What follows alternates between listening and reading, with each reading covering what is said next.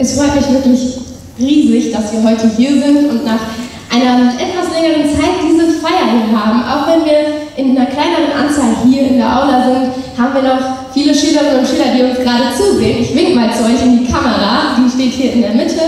Und auch einen herzlichen Dank an alle Gäste, die heute da sind. Und ich würde jetzt das Programm hiermit eröffnen. Es ist so, dass ich nochmal auf die Homepage geschaut habe. Es ist keine Preisverleihung, die hier stattfindet. Es ist eine Titelverleihung. Und diese Titelverleihung nimmt die ganze Schulgemeinschaft in die Verantwortung, uns nach ähm, bestimmten Werten zu halten, also aufeinander aufzupassen in unserem täglichen Zusammenleben. Ja, das kann ich gut verstehen. Es ist kein Rückblick, der erfolgt auf, äh, auf geleistete Arbeit. Erstmal ist es nur ein Titel. Und dennoch würde ich dem vehement widersprechen, denn wenn ich zurückblicke, glaube ich, dass wir als Schule es allemal verdient haben, äh, diesen Titel zu tragen. Wir haben eine sehr, sehr aktive SV, Schüler, die sich für die Schule einsetzen, die Interessen der Schülerinnen und Schüler vertreten und dafür einen großen Applaus aus.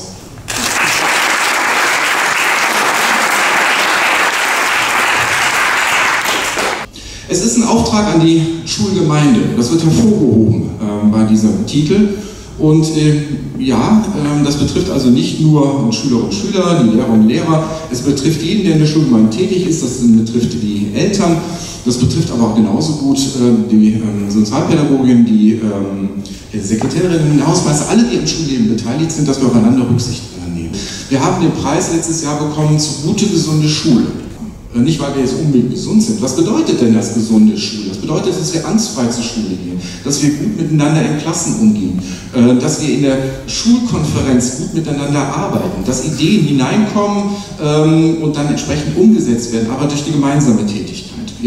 Dass wir dann bestimmte Projekte dann auch entsprechend umsetzen können. Wir haben nicht die allerschönsten Klassenräume wo ich immer hoffe, dass es auch bald mal wieder ähm, entsprechende Gelder zur Verfügung stehen. Aber was, es wird nicht bewertet. Es wird bewertet, was machen wir trotz mancher Einschränkungen, die wir haben ähm, und dass wir trotzdem hier ein lebendiges Schulleben haben. Sowas wurde beobachtet. Wie statten wir das aus? Ähm, etc.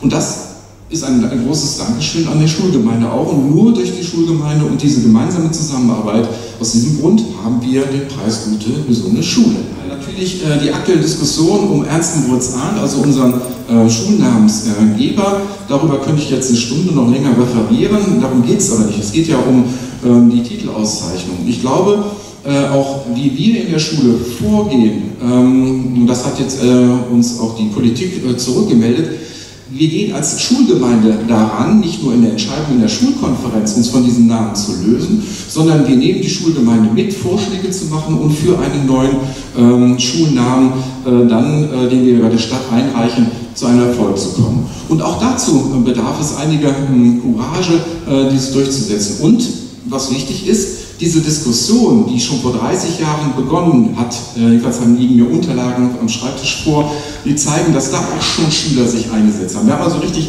eine tolle politische äh, mh, Tradition von äh, politisch aktiven Schülerinnen und Schülern. Da hat das so begonnen, dass äh, Schüler äh, gefordert haben, mal eine, um, was eine Umfrage zu machen an der Schule, damit der, äh, der Name der Schule geändert werden kann. Das kam äh, nicht durch, es äh, kam ähm, mit Lehrern zusammen, wurde ein Ergebnis erarbeitet, wo auf diese vielen Zitate hingewiesen worden sind, die einfach nicht mit dem Schulleben, unserem Schulleben äh, zusammenpassen. Die Werte passen einfach nicht zusammen mit den rassistischen, frankophoben und sonstigen Äußerungen von Ernst Moritz Arndt. Es gab einmal dann eine entsprechende ähm, eine äh, Eingabe in die Stadt. Herr Wolf war, glaube ich, auch damals äh, schon dabei, hat die Diskussion mitbekommen und es hat nicht funktioniert, einen anderen Namen zu ersetzen. Jetzt wird ein wieder erneut äh, der Versuch gestartet. Und als ich im ähm, Ausschuss äh, für äh, Beschwerden und Anregungen diese Woche mit äh, Herrn Springop, dem Pflegschaftsvorsitzenden, und dem ähm, Herrn Otto gewesen bin, haben wir das auch entsprechend vorgetragen und haben jetzt diesen Titel nochmal genannt, haben aber darauf hingewiesen, wofür steht die Schule. Wir haben eine sehr starke Erinnerungskultur, wir haben die Gedenkstätte. Äh, wir haben einen sehr aktiven Geschichts-AG-Verein. Wir haben zahlreiche Ausstellungen gemacht. Herr Voss hat eine zahlreiche Ausstellungen auch entsprechend begleitet. Ähm, und das passt einfach nicht zusammen, wenn wir jetzt äh, unser Schulleben betrachten. Und ähm, ja, und dann ist es Zeit auch, äh, dieses weiter voranzutreiben, dass wir hoffentlich in diesem Jahr dann auch die Unterstützung der Stadt erhalten, die als Schulträger natürlich auch nur ähm, dann mh, die Entscheidung treffen kann, ob der Schulname geändert kann. Ich glaube, ich könnte jetzt zahlreiche weitere Beispiele nennen, die unser Schulleben ausmachen und äh, die zeigen, dass, es, ähm, dass wir diesen Titel verdient haben.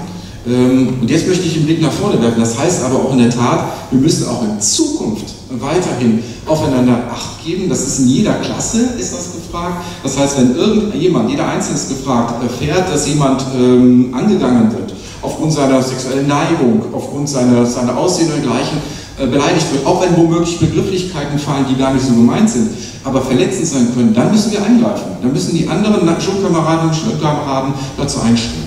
Ähm, aber genauso äh, sind natürlich alle anderen Schulmitglieder äh, gefragt, hier unterstützend ähm, tätig zu sein.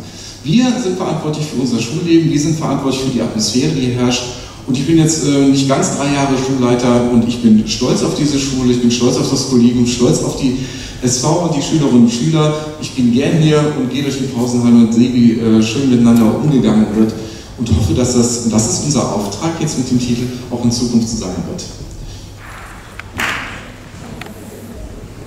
Das ist das Problem mit Rednerpulten, wenn man 1,53 groß ist. naja, ich stelle mich so ein bisschen auf die Zehenspitzen, damit ihr noch meinen Kopf sehen könnt. Sehr geehrter Herr Sven Wolf, sehr geehrter Herr Sikulski, sehr geehrte Lehrerinnen und Lehrer und natürlich sehr geehrte Schülerinnen und Schüler, die uns gerade per Teams zuschauen. Ich danke euch für eure Mitwirkung, für eure Unterstützung und vor allem Unterschriften bei der Unterschriftensammelaktion für dieses Projekt, denn ohne euch wären wir heute alle nicht hier. Es freut mich wirklich unfassbar, heute hier zu stehen und sagen zu können, wir haben es endlich geschafft, in das deutschlandweite Courage-Netzwerk aufgenommen zu werden. Wir sind Teil dessen und wir werden versuchen, trotz dieser Pandemiesituation, die hoffentlich in Kürze enden wird, weitere Projekte zu organisieren. Es macht mich traurig und wütend, wenn ich sehe, dass immer mehr Kreuze auf dem Wahlbogen bei der AfD landen. Wenn ich sehe, dass rechte Gruppierungen zunehmen, wenn ich sehe, dass ein Rechtsradikaler acht Deutsche mit einem Migrationshintergrund in Hanau umbringt, weil diese eben einen Migrationshintergrund haben. Ich habe auch einen Migrationshintergrund, und zwar einen türkischen. Und knapp die Hälfte unserer Schülerschaft hat auch einen sogenannten Migrationshintergrund. Ich möchte kein Opfer eines Anschlags oder, eine, oder von Mobbing und diskriminierenden Sätzen sein. Das möchte keiner. Und das, was ich gerade erwähnt habe, ist nur ein einziges Beispiel von Rassismus. Doch es gibt leider noch viele verschiedene Arten von Rassismus und Diskriminierung, sei es Antisemitismus, Islamfeindlichkeit, Homophobie oder Sexismus. Also ist es umso wichtiger, so früh es geht, aufzuklären und dagegen vorzugehen. Die Auseinandersetzung mit diesen Thematiken und auch das gemeinsame Organisieren von Projekten bieten uns die Möglichkeit, weit über den Tellerrand hinauszuschauen und unsere eigenen Vorurteile abzubauen. Ja, Vorurteile hat irgendwie jeder. Du musst dir aber mal vor Augen führen, dass dein simples Vorurteil zum Nachteil eines anderen oder einer anderen wird.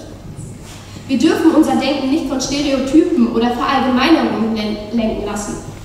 Wie wäre es denn einfach mal, wenn wir das Positive in Diversität und Vielfalt sehen? Ja, wie man mir anmerkt, ich kann auch stundenlang über dieses Thema reden. Es bewegt mich sehr.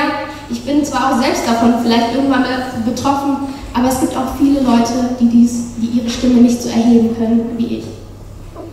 Aber nun komme ich zum Ende meiner Rede. Wie schon erwähnt, gibt es Rassismus überall, auf verschiedenen Ebenen und in unterschiedlichen Formen. Häufig kommt es auch in Schulen zu rassistischen und diskriminierenden Aussagen egal ob unter Schülerinnen und Schülern oder zwischen Lehrerinnen und Schülerinnen. An unserer Schule sollte deshalb auch die Sensibilität aller Beteiligten hinsichtlich dessen gefördert werden, auch wenn es bei uns glücklicherweise nicht wirklich vorkommt. Trotzdem sind alle, alle hier sitzende Personen sind Teil unserer Gesellschaft. Wir sind eins und müssen wachsam und sensibel sein und durch Schule ohne Rassismus, Schule mit Courage, können wir gemeinsam ein Zeichen gegen Rassismus und Diskriminierung jeglicher Art setzen. Vielen Dank.